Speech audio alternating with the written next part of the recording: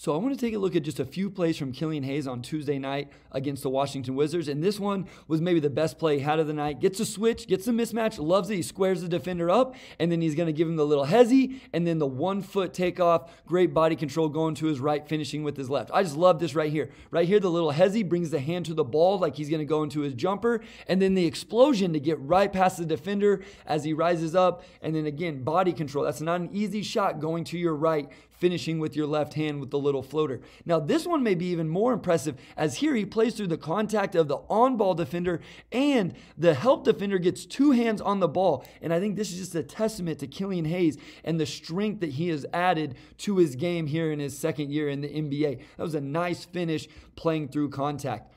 And then not that Kelly Olynyk is a guy that's here long term, but just seeing Killian Hayes create some chemistry with the ball screen teammate and this type of archetype which you hope he is has the ability to play with his entire career. A guy that can pick and pop and then on the next clip a guy that can pick and roll. So i just want to see as killian hayes finishes out these 20 games of the season how does the chemistry look with a kelly olynyk who we haven't always seen good chemistry with? How does it look with a guy like marvin bagley III even if it's not those guys what kind of chemistry is he able to develop and how can he look in ball screen situations with guys who he have archetypes that hopefully he'll always get to play with. And then a really nice defensive play.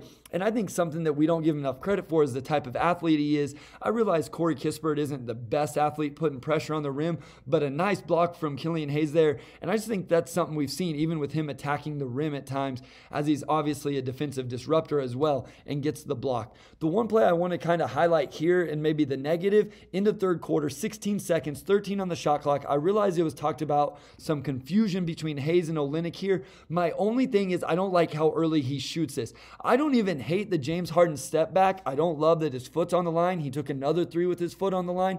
I just don't like it with seven seconds left. I don't I know he hasn't been successful with this shot. I'm fine if he's like feeling himself and has some confidence, but I would have liked to have seen him take it with less time on the shot clock as this gave the Wizards a chance to go the other end and they actually got two attempts up.